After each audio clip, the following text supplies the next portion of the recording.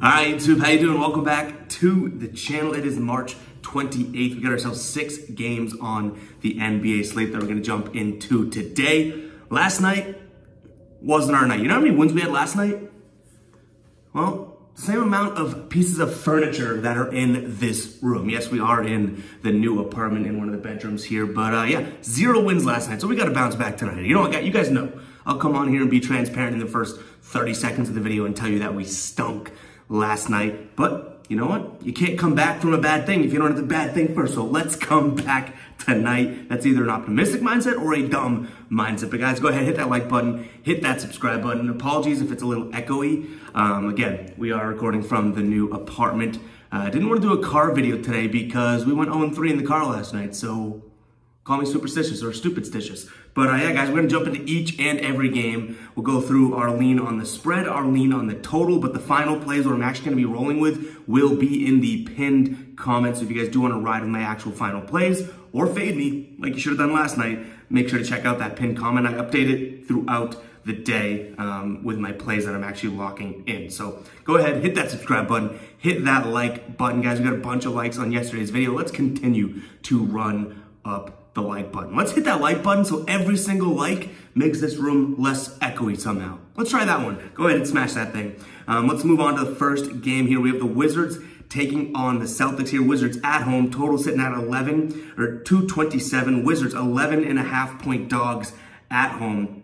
Last time these two teams played was late November. Boston won 130 to 121. They did in fact cover in that game. They're 7 and 3 against the spread, 4 and 3 in their last 7 on the road. The Wizards, 3, 6, and 1 against the spread. The Celtics team finally kind of got back into, um, I guess, the against the spread good graces, right? Um, whereas Washington struggling a little bit. They're also going to have Bradley Beal and Kyle Kuzma out tonight. I'm a Celtics fan. This isn't a biased lean. I'm going to lean towards the Celtics here minus the points. It's a lot of points. I wish this one was, you know, in the single digits. We don't have that tonight. So keep an eye on the pin comment to see if it ends up becoming a final play. But as of right now, I am leaning Celtics minus the 11 and a half. And then in terms of the total 227, I think this one can get up into the 230. So I'm going to lean right towards the over in this one as well. So Boston and the over. Moving on, we have Miami taking on Toronto here. Toronto, uh, three-point favorites at home. Total sitting at 219 and a half. Last time these two teams played was mid-November. Toronto won 112 to 104. They did cover that game as well. In their last 10, they're 5, 3, and 2 against spread. Toronto also playing really well at home. Force in their last six games, four, one, and one at home. And Miami, not the best against the spread team, as we've known all year long, but also in their last 10, they're four and six against spread. In their last 10, they're 27, 45, and three against the spread this season. I'm not really loving that. Kyle Lowry is questionable here. And then for Toronto, a couple injuries to note. Gary Trent Jr. is questionable here. Will Barton is doubtful. Toronto coming out double, uh, two wins in a row, one against Detroit, one against Washington. They covered in both games here. I do think Toronto is the play. I don't love it. I feel like Miami's going to come to play and start to get better and better um, in these later, I guess, later days of the season. We've kind of seen it as of late, but I'm still going to lean Toronto. They're playing really well against spread at home. It's only a three-point spread. And then at 219 and a half total, it looks a little too good to be true for me. So I'm going to lean towards the over here as well. This Miami team has been letting up a decent amount of points. You know that we were taking their overs when these numbers were so low. Uh, if you guys were watching every day, a couple weeks back we were losing um, because we were getting tempted by the bait there. But they started to cash some overs here. Two overs in a row have hit for. Miami. So I'm going to lean towards that direction there in terms of the total. Moving on, we got Cleveland taking on Atlanta. Cleveland one and a half point favorites on the road. Total at 234 and a half right now. These two teams, last time they played was late February. Atlanta has one point favorites, pretty much a pick'em game. Wins 136 to 119. They also played in November. Cleveland got that win and covered 114 to 102. Those are the only two meetings of the season. Cleveland not doing as well as we would have expected here. Um, in the, I would say 10 games, uh, 10 games or so. They're 4 and 2 against the spread in the last six, but if you kind of extrapolate that or expand, I should say, that sample size, five and five against spread in their last 10 games, three and three on the road. So nothing really to chomp at the bit there. Um, but Atlanta, looking at it the same way, they're five and five against spread at, as well in their last 10. One of the first things that jumps out to me is this number, um, the total. Now you're probably thinking, oh my God, that's something that Ev would definitely look at the under because it is a high total, right? Not this time. Four of the last six times these two teams have played, the total has gone over. I do think that this one can get up in there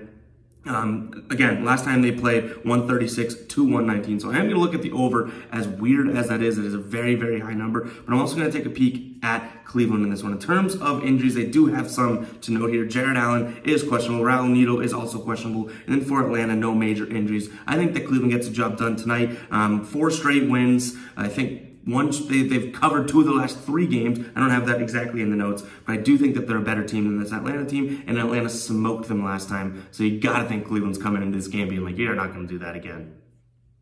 Next game on the slate here, we have Charlotte taking on OKC, the rumbling covering Thunder. Oklahoma City with nine point favorites to open. Um, I don't have a live line for them. I also don't have a total line available at my disposal as well. So I'll say this, if this total is 230, I would say 233 or below. I'm looking at the under. Um, if it's around 227, I'll probably look at the over. So it kind of gives you that range of where I think this game falls anywhere from 227 to 233. Um, last time these two teams played was December 29th. Charlotte won 121 to 113. They are 6 and 4 against spread in their last 10, 3 and 1 against spread in their last four. Gordon Hayward's doubtful. Terry Rozier's doubtful. Kelly Oubre is doubtful. Cody Martin is questionable. And then for OKC, Shai Gilgeous-Alexander is questionable. I almost feel foolish to make a pick on a spread here when we don't really even know who's playing, who's in, who's out. Um, but I am going to lean Charlotte. I think it's a lot of points, nine points.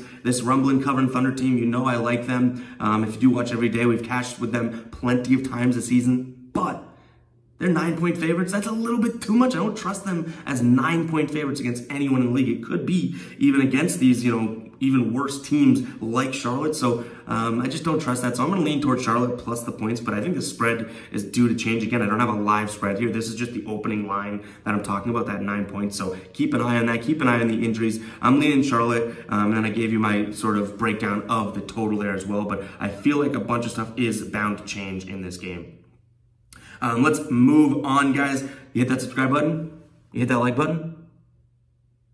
Thank you. Now I can move on. All right, let's move on. Orlando taking on the Grizzlies. Grizzlies nine point favorites at home, total two 35 and a half. These two teams played early January. Memphis won 123 to 115. They did, in fact, cover. That was their only meeting of the season. In their last 10 games, 5 and 5 against the spread. The Magic 3 and 1 in their last 4 against the spread on the road here. And they're 6 and 0 in their last 6 games against the spread. I don't want to do it, but I'm leaning Magic here, plus the 7.5 points. I do think that this Memphis team can win this game and probably win it big as well. So if you're in the comments being like, nah, dude, Orlando's not the play tonight. I don't think I'd argue you, but I am going to lean towards Orlando here. Memphis, Ja Morant, doubtful. Steven Adams, obviously, we know is out. Um, and then for Orlando, Jonathan Isaac, he's been out for season as well. As Memphis team has won nine of their last 10 games. That's why I wouldn't really argue anyone that says, hey, go out there and, you know, pick Memphis because they're going to win this one. I don't think that that's a crazy take. But uh, Orlando has won four of their last five games against some decent competition as well. So I think this could be a better game than people might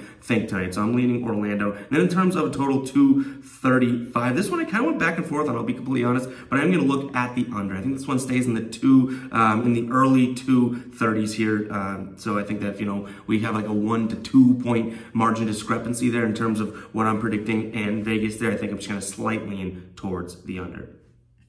All right, guys, moving on. We got Golden State taking on the Pelicans. This is the last game of the slate. Golden State, eight and a half point favorites at home. Total at 234 and a half. I think that this is a lot of points to lay if you are Golden State. You're looking at New Orleans coming off the win last night against Portland 124 to 190. I leaned Portland. It wasn't a final play last night, but man, this this Portland team, or this sorry, this Pelicans team is playing good basketball. Seven and three against the spread. The the username's escaping me, so I do apologize for that. I think it starts with a T, so I'm gonna call you T. But uh, saying put some respect. Yesterday's video put some respect on the Pelicans name. I think I have to. I don't give the strength of schedule that much credit here, but they are seven and three in their last ten games here, both straight up and against the spread. The Pelicans are playing good basketball, whereas Golden State is kind of rocky. So you know what? I'm riding with the commenter from yesterday. I'm gonna look at the Pelicans here plus the eight and a half points. In fact, I think it's a really good spot for a teaser. If we can do like an eight point teaser on that, give me Pelicans plus 16 and a half against a Warriors team that you never really know what you're going to get